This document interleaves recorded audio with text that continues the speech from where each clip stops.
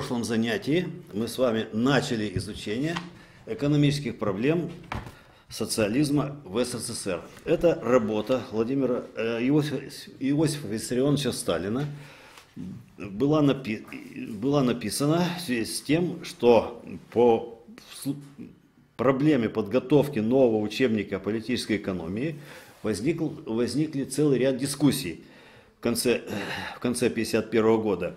И в связи с возникшими дискуссиями э, Иосиф Виссарионович Сталин был вынужден ответить на ряд возникших вопросов. Итак, первый вопрос, который мы рассмотрели, это был вопрос о характере экономических законов при социализме. Это мы рассмотрели на прошлом занятии, а теперь наша задача, теперь наша задача рассмотреть еще один вопрос, который возник в ходе дискуссии. Это вопрос о товарном производстве при социализме. Ходе дискуссии некоторые товарищи утверждали, что партия поступила неправильно, сохранив товарное производство после того, как она взяла власть и национализировала средства производства в нашей стране. Они считают, что партия должна была тогда же устранить товарное производство. Они ссылаются при этом на Энгельса, который говорит, раз общество возьмет во владение средства производства, то будет устранено товарное производство – а вместе с тем и господство продуктов над производителями. Эти товарищи глубоко ошибаются, говорит Иосиф Виссарионович. Энгельс в своей формуле имеет в виду национализацию не части средств производства, а всех средств производства, то есть передачу в общенародное достояние средств производства не только в промышленности, но и в сельском хозяйстве. Из этого следует, что Энгельс имеет в виду такие страны, где капитализм и концентрация производства достаточно развиты не только в промышленности, но и в сельском хозяйстве. Для того, чтобы экспроприировать все средства производства страны и передать их в общенародную собственность. Энгельс при этом считает, что в таких странах следовало бы наряду с обобществлением всех средств производства устранить товарное производство – и это, конечно, правильно. Но вот вопрос. Как быть пролетариату и его партии, если в той или иной стране, в том числе в нашей стране, имеются благоприятные условия для взятия власти пролетариатом и неспровержения капитализма, где капитализм в промышленности до того концентрировал средства производства, что их можно экспроприировать и передать во владение общества – но где сельское хозяйство, несмотря на рост капитализма, до того еще раздроблено между многочисленными мелкими и средними собственниками-производителями, что не представляется возможности ставить вопрос об экспроприации этих производителей. Итак, как быть, если обобществлены не все средства производства, а только часть средств производства – а благоприятные условия для взятия власти пролетариатом имеются налицо. Следует ли взять власть пролетариату и нужно ли сразу после этого уничтожить товарное производство? На этот вопрос Иосиф Виссарионович отвечает.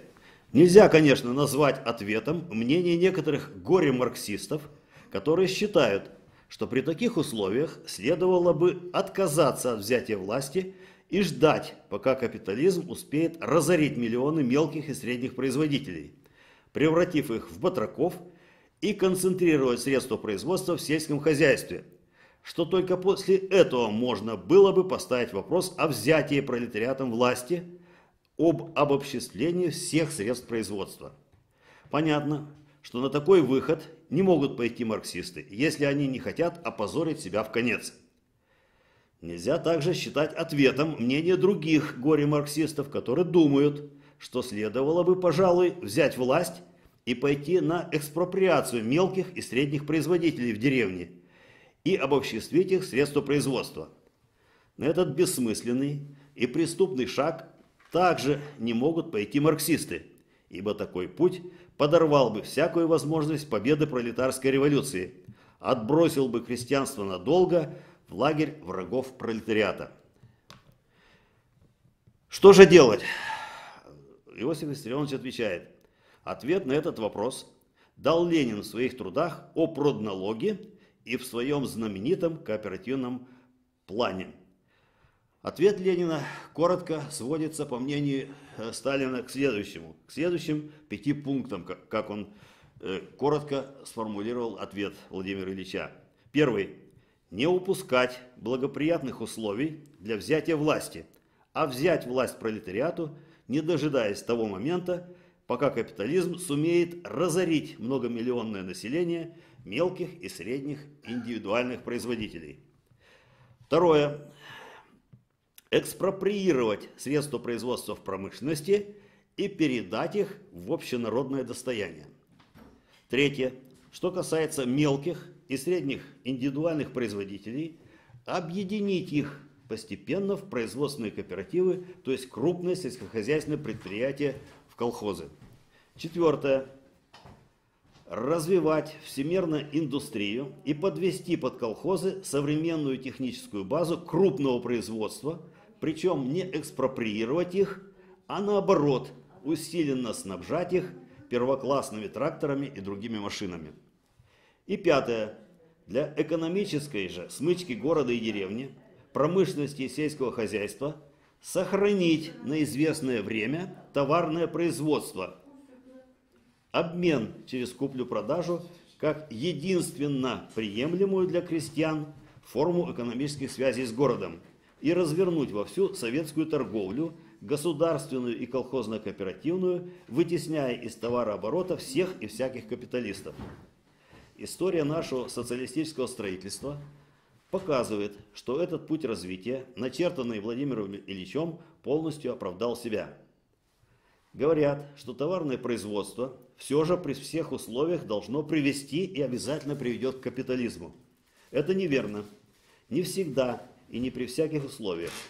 Нельзя осуществлять, э, отождествлять товарное производство с капиталистическим производством. Это две разные вещи. Капиталистическое производство есть высшая форма товарного производства.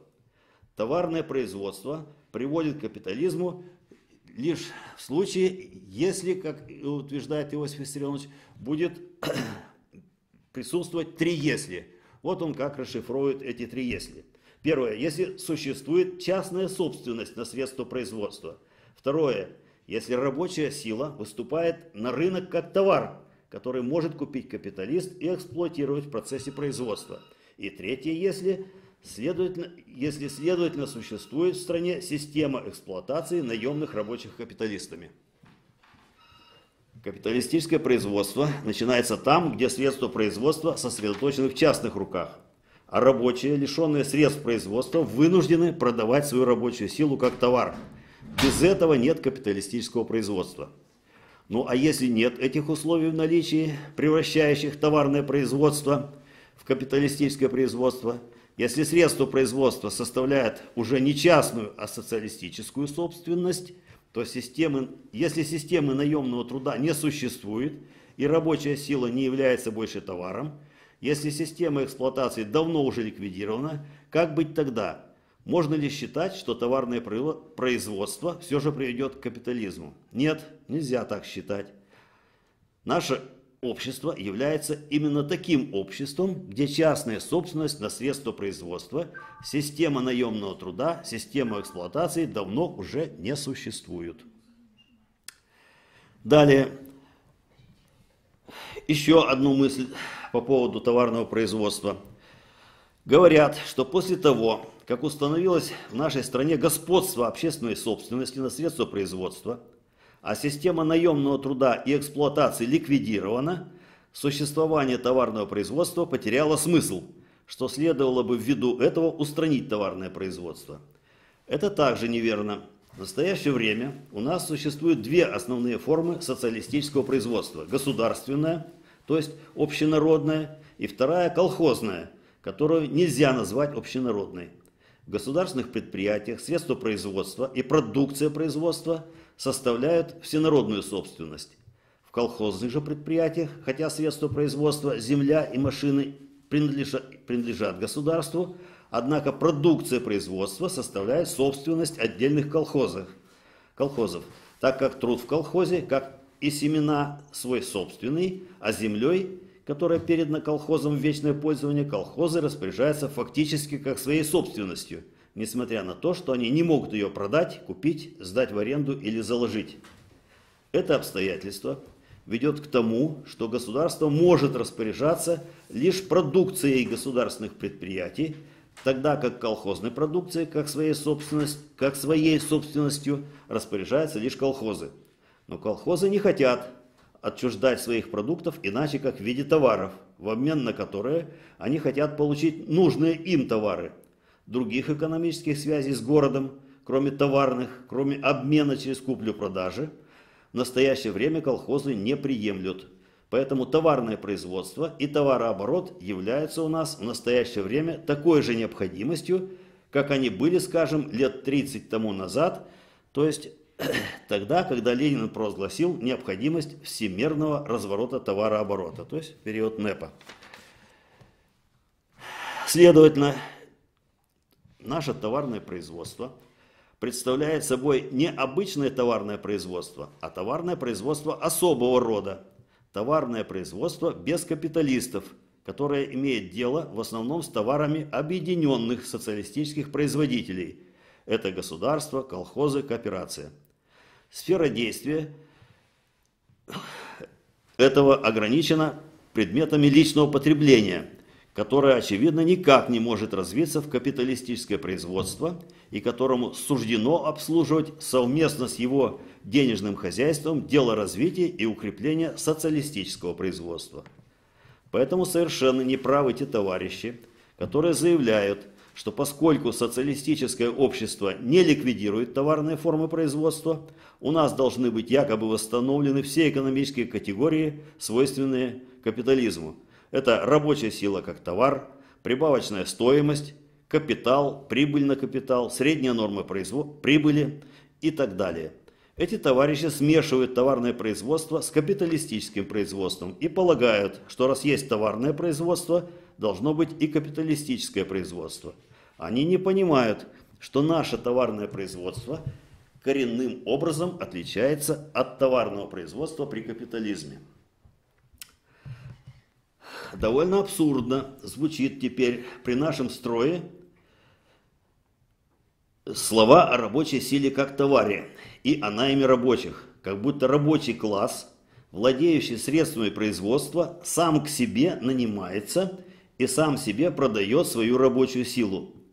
Столь же странно теперь говорить о необходимом и прибавочном труде, как будто труд рабочих в наших условиях, отданный обществу на расширение производства – развитие образования, здравоохранения, на организацию обороны и другие государственные вещи не является столь же необходимым для рабочего класса, стоящего ныне у власти, как и труд, затраченный на покрытие личных потребностей рабочего и его семьи. Следует отметить, что Маркс в своем труде «Критика Готской программы», где он исследует уже не капитализм, а между прочим первую фазу коммунистического общества, признает труд, отданный обществу на расширение производства, на образование, здравоохранение, управленческие расходы, образование резервов и тому подобное, столь же необходимым, как и труд, затраченный на покрытие потребительских нужд рабочего класса. То есть в основе труда это покрытие потребительских нужд. И в заключение Иосиф Виссарионович говорит, я думаю, что наши экономисты должны покончить с этим несоответствием между старыми понятиями и новым положением вещей в нашей социалистической стране, заменив старые понятия новыми, соответствующими новому положению. Мы могли терпеть это несоответствие до известного времени, но теперь пришло время, когда мы должны, наконец, ликвидировать это несоответствие. На этом он заканчивает рассмотрение вопроса о товарном производстве при социализме.